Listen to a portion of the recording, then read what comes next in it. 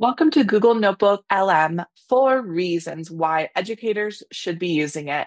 In this session, we're going to dive into this amazing tool and talk about four main reasons why and how you should be using it in your classroom so you can start using it right away. My name is Katie Eklund, and I will be walking you through these helpful tips.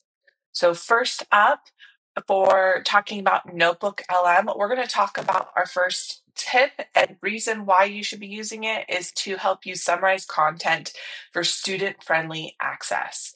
You can upload files and then they can create clear, concise summaries and bullet points. It can help you scaffold complex content for your students and or even students like English language learners. So what we're going to do now is we're going to go dive into Notebook LM together and look at this in live time. So let's go check it out.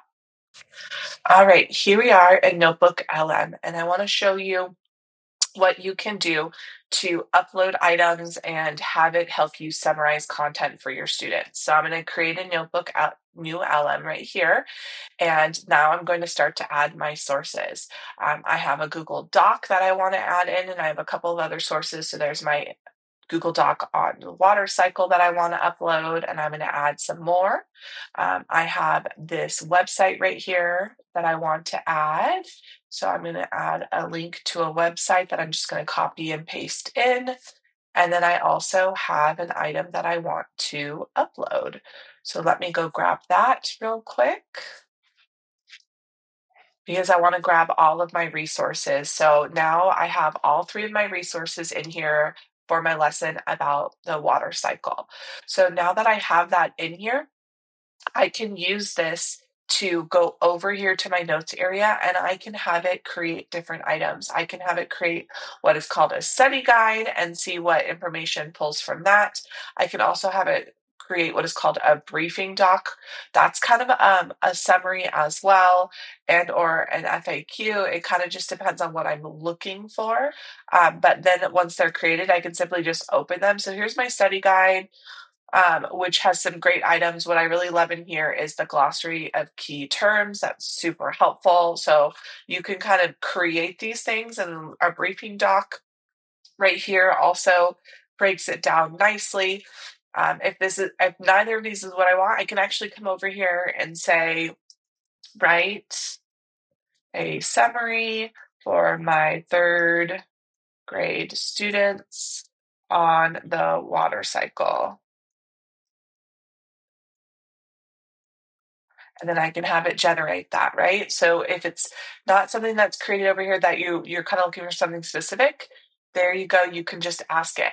Please note that I made a very simple prompt here. If you have something very specific, make sure you include that in your prompt. But I can see here, so here is a nice, much more condensed than three resources on the water cycle. And I can save this note. Um, I can copy this note to like go put it somewhere to share to my students. So lots of great options there for you. Um, I could even um, go in and have it scaffold different pieces of the content again just putting that in my prompt right so i can ask it for the summary i can ask it for things like key terms if i don't want to pull them from these documents that it makes and or have it scaffold up or down as my students needed. So this is one really great way you could utilize notebook lm to help your students. All right now let's move on to our second reason which Notebook LM can help you generate custom study guides and review questions, which I absolutely love. So you can ask it to identify key themes, vocabulary, potential quiz questions, create reflection prompts or short answer practice. You can also have it do test prep and or homework supports. So we're going to go dive in to Notebook LM back to our water cycle and see what we can create from there. All right, so here we are back in Notebook LM with our water cycle that we were just talking about um, for our first reason. So now we're going to talk about making some custom materials. We saw over here earlier that I can create the study guide and the briefing doc and the FAQ by simply just clicking on them and it makes them for me. But maybe I'm looking for something super specific. So I'm just going to ask it in my prompt so that it can pull the information from my sources. Um, please identify the key vocabulary and provide definitions.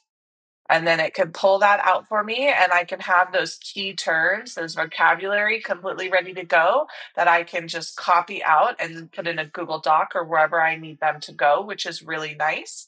Um, I can then also have it write up some quiz questions. Um, write 10 quiz questions for my students about the water cycle. And if I want to get really specific, I can say for my third grade students, right? Remember, the more specific you are, the more it's going to tailor them for you.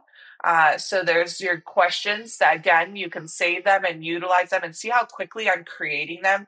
So nice um, and so quickly. I love that you can use this. And again, you can use this to scaffold up or down for your students as well. So this will be really great to be able to create quick resources for your students using things that you're already teaching with in the classroom.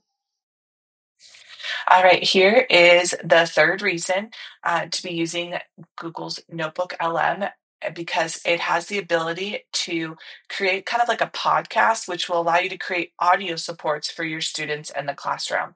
You can turn notes and content into a podcast style audio summary. It's really great for students who need that auditory support.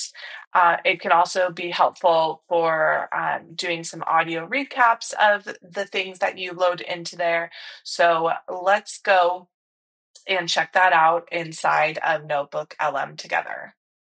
All right, here we are back in Notebook LM working on our water cycle um, notebook together. And right over here in the studio, all I did was generate, and then it generated this really nice um, audio overview of the water cycle and forms of precipitation based on our sources over here. Um, it is nine minutes and 33 seconds, and it's currently in English. You can do it in more than um, one language if you need to, um, but you obviously will want to listen to it but you can also change your playback speed. You can download the file and then delete it if you don't want to. You'll also see on your initial setup that you can also create that audio overview from right here inside of the chat as well. But this is really great because it allows you to be able to grab that um, and use that for those auditory learners in your classroom. So if you've never checked that out, go ahead and work in Notebook LM have it generate it and then go listen to it. It's really awesome, really great for those auditory learners. And I love using it all the time for myself. So definitely check that feature out. All right, so here we are for our fourth reason to use Google Notebook LM. It's a great tool to help spark student inquiry and discussion, of course, with teacher guidance. You can use Notebook LM to help you design deeper level questions for your content, um, encourage students to critically think about AI generated follow up questions, but please note that they can definitely benefit from this. But you, as the teacher, should always be the guide for this tool, and uh, students should not be using this tool on their own. So let's go dive into Notebook LM and check out this last reason. All right, so here we are back in Notebook LM. And again, we're back in that same topic of the water cycle. And now we want to, we've gone through our uh, different areas and we've made some summaries, we've made some key terms, we have also made some questions and uh, our audio overview. But now we want to spark discussion. So I'm going to go down into my prompt and say, and say, what are five open, oops, let's spell that correctly, open ended um, questions that I can share with third grade students to spark discussion. And then I'm going to have it create those for me. And you'll see just like this, I have them done and ready to go that I can use with my students, right? And what I love about this is uh, it gives the question, but it also kind of gives you like this question encourages students to think about this part of the water cycle or this part of the water cycle, right? It really breaks that down and then also if you hover over these numbers, it does give the some information of where it's pulling it from. So this one came from my PDF that I uploaded. This one came from that website. So it kind of really tells you where it pulls it from. So lots of great options here for you when you're wanting to spark that inquiry and discussion. Uh, as an educator, I always do it and then bring the content to my students. I don't have my students in the tool. I do that. So I just want to make sure I emphasize that with you as well. Thank you so much for watching the four reasons to use Google Notebooks LM. I really appreciate you taking the time to do this, and I hope that you've learned that Notebook LM can help you turn your classroom content into personalized, engaging resources all in one place. So now I would challenge you to go ahead into Notebook LM and try uploading some of your lesson plans, your readings, your resources, and see what you can go create inside of Notebook LM to start using with your students right away.